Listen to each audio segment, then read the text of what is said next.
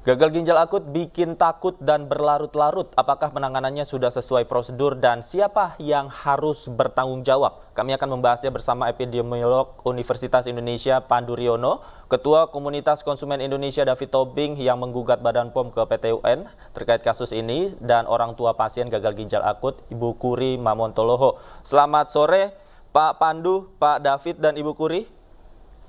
Selamat sore.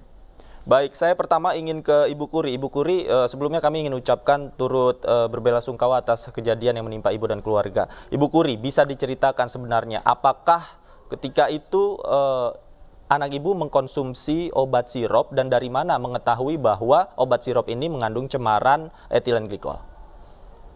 Uh, itu kan memang jadi awalnya itu hanya demam, hanya demam saja.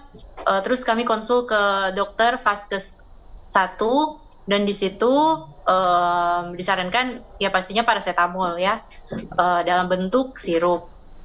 Dan setelah itu karena demamnya hanya naik turun jadi dokter uh, menyarankan pemberiannya tiap 4 jam sekali.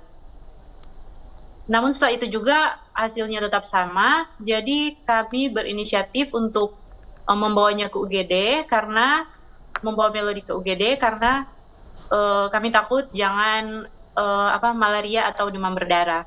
Namun sampainya di UGD uh, eh, hasilnya tidak ada demam berdarah dan malaria. Begitu.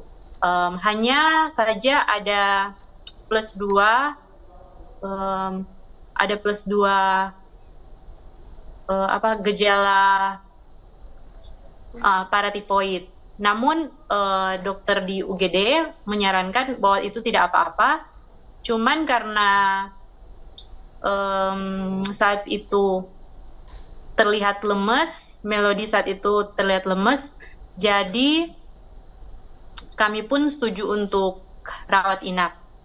Dan uh, saat mulai dirawat inap itu mulai mulai diinfus. Jadi hari pertama rawat inap mulai diinfus dan setelah itu uh, sempat demam lagi, sempat demam lagi dan obat-obatan yang jadi uh, diberi awalnya diberikan juga paracetamol dalam bentuk cair merek AF kalau dari rumah sakit hmm.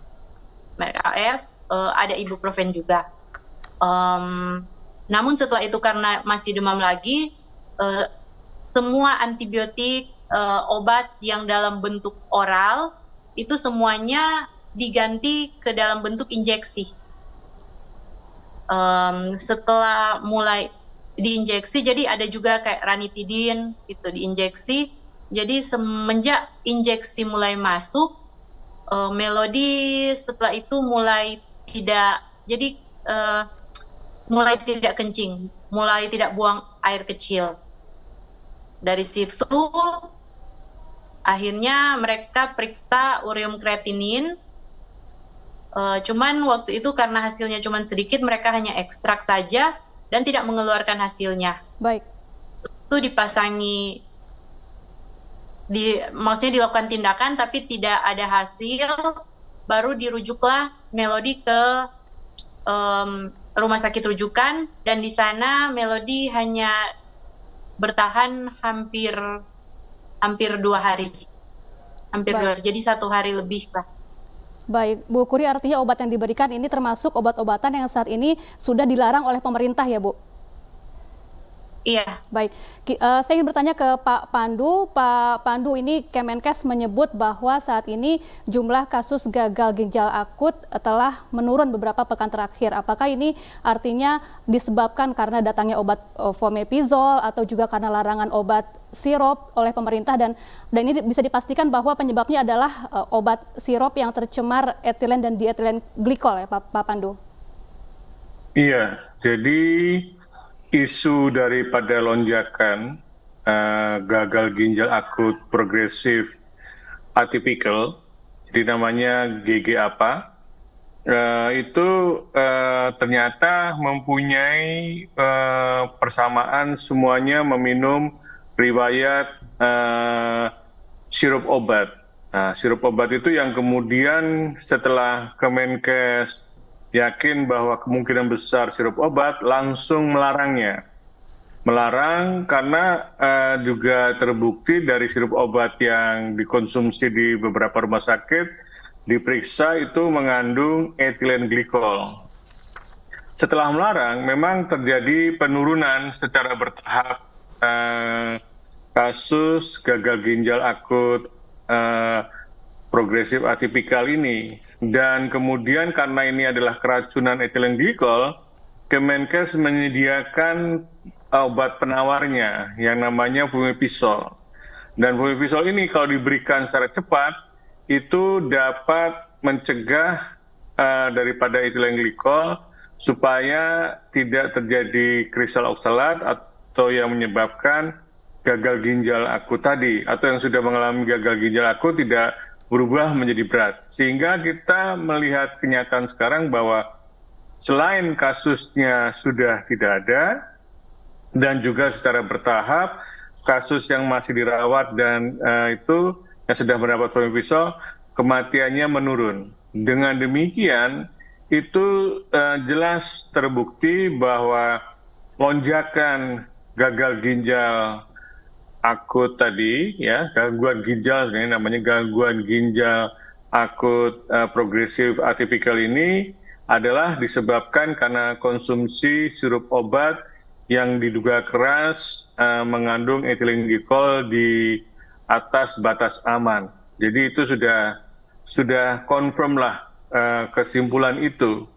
Jadi kita tidak bisa lagi sekarang sebaiknya tidak lagi menyatakan kasus gagal ginjal akut, sekarang isunya adalah keracunan daripada sirup obat hmm. terhadap adanya etilen glikol. Jadi isunya harus menyidik kenapa kok sirup obat yang beredar di Indonesia sampai uh, mengandung etilen glikol yang di batas aman dan hingga membahayakan kesehatan anak tersebut.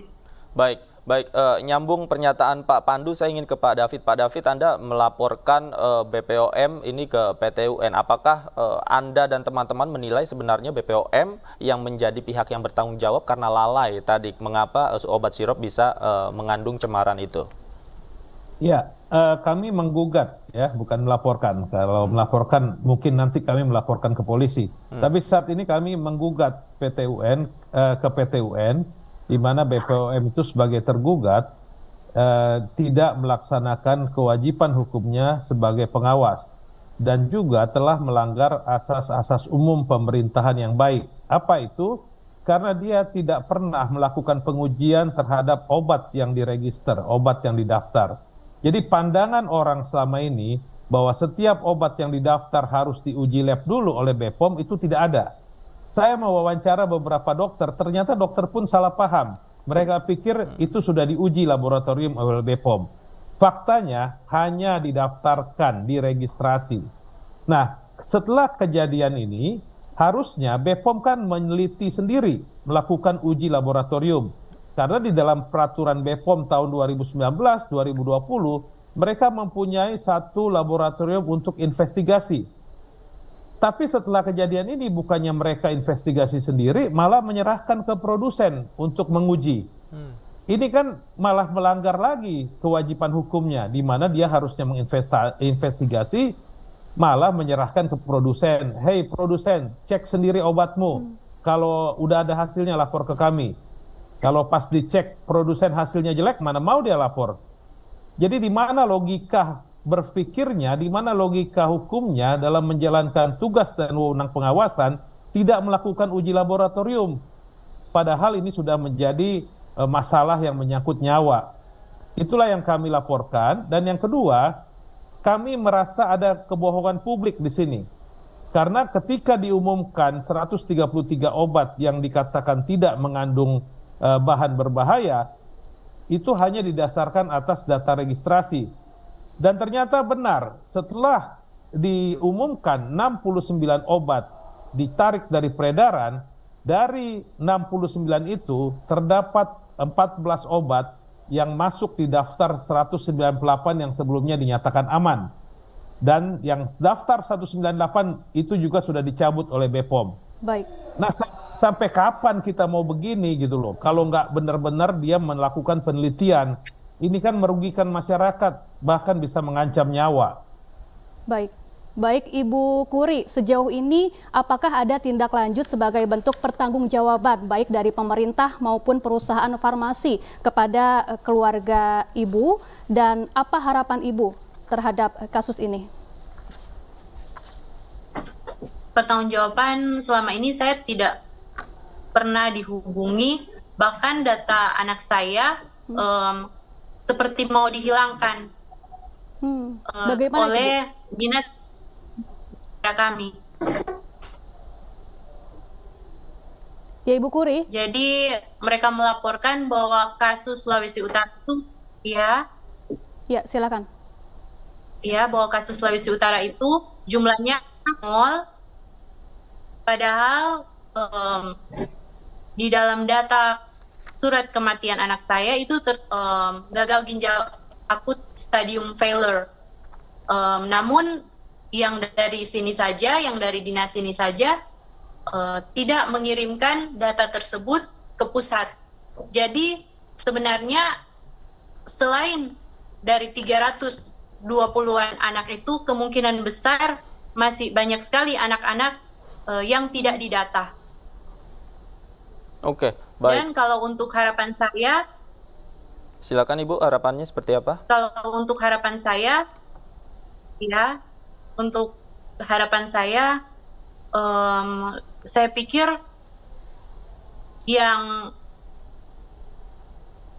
yang seperti yang kita tahu berarti ada yang sengaja memasukkan etilen dan atau dietilen glikol ke dalam obat sirup anak dan itu memang harus ada yang bertanggung jawab hmm. karena sudah banyak sekali anak yang meninggal. Oke, oke. Ada yang sengaja, uh, ada dugaan yang sengaja mencampurkan etilen glikol ke obat sirup. Dan uh, Pak Pandu, apakah selama ini penanganan atau sikap yang diperlihatkan oleh BPOM dan juga Kementerian Kesehatan ini sudah sesuai dan memenuhi sebenarnya harapan-harapan seperti harapan Ibu Kuri ini? Anda melihatnya seperti apa? Iya, seharusnya uh, itu harapan kita semua ya. Kita harus mencari kenapa uh, tragedi ini bisa terjadi. Seharusnya tidak perlu terjadi, ya kan dengan dengan pengawasan yang ada, dengan peraturan-peraturan yang ada, gitu ya. Ternyata memang ada terbukti ada dua pemasok bahan baku hmm. yang mengubah yang seharusnya uh, ethylene glycol diubah katanya labelnya propylene karena dia memeriksanya hasil pemeriksaannya uh, zat pelarut yang aman tadi yang polyethylene glycol itu uh, 90% mengandung ethylene glycol. Artinya kan itu ethylene glycol yang tidak boleh sama sekali dipakai. Kalau itu ada unsur kesengajaan, itu kriminalitas. Maka uh, penyidikan kepolisian dan penegakan hukum pada industri farmasi yang kemungkinan ada unsur sengajaan harus terus ditindaklanjuti karena kita tidak mau ini terjadi. Kemudian ya ada harapannya di masa mendatang harus ada sistem yang lebih ketat yang mencegah supaya hal-hal semacam ini tidak boleh terjadi lagi. Baik, baik. Terima kasih. Sayang sekali waktu kita terbatas. Terima kasih sekali lagi Pak Panduriono, Pak David Tobing juga terima kasih sudah meluangkan waktu Ibu Kuri. Sekali lagi terima kasih sudah meluangkan waktu untuk kami di iNews Sore. Selamat sore.